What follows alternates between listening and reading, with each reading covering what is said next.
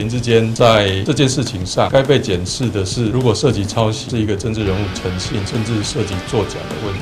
如果林志坚知道说这两段文字根本就是别的学者所研究出来的成果，而他没有做引注，这也算是抄袭啊。即使不是抄袭于先生的，你也是抄袭别的学者的研究成果。全文照抄，没有引注出处，这当然就是抄袭。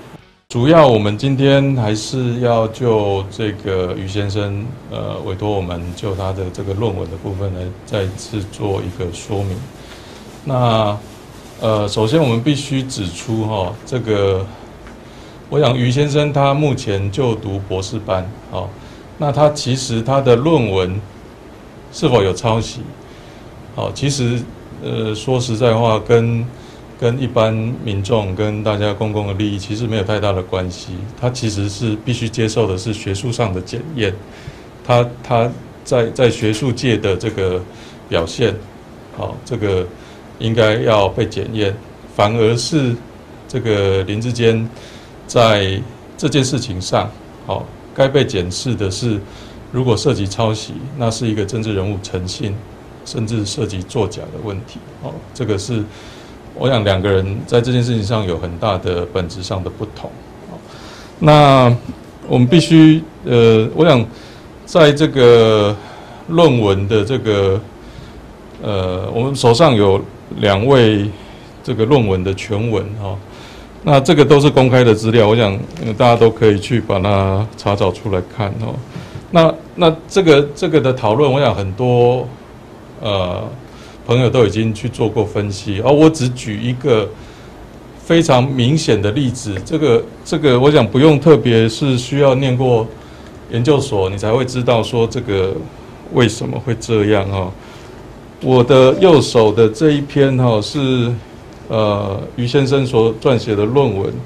那我的左手拿的这一本是林志坚所撰写的论文。那在荧光笔画的这个。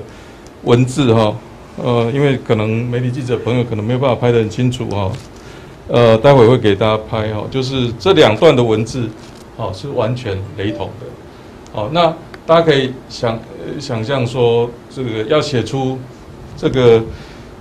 两段完全相同的文字，那几几率几率应该几乎是零了哈，那所以才会有这一次有所谓谁抄袭谁的争议哈，那。这个姑且不论哈，那现在各说各话，不知道谁抄袭谁。但是在我右手这一本的论文上面，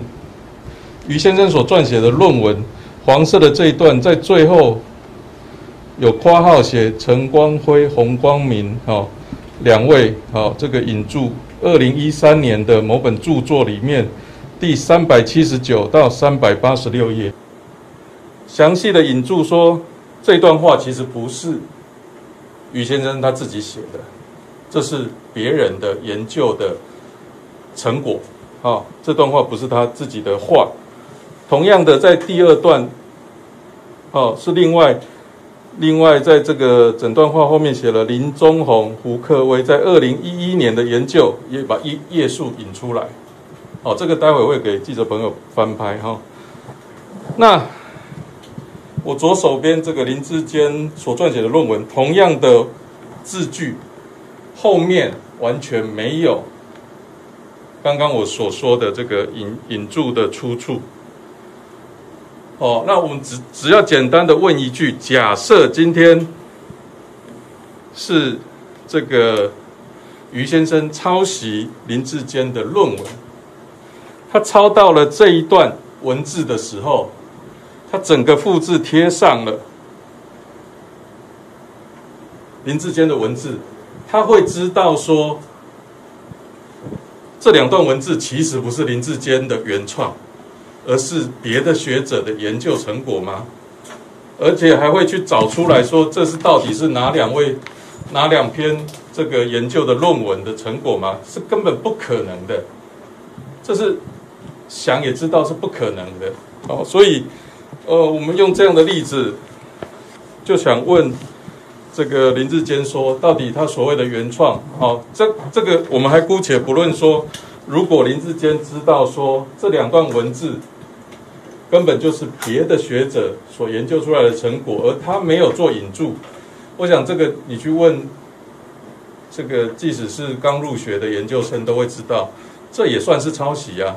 你即使不是抄袭于先生的，你也是抄袭别的学者的研究成果啊。哦，你没你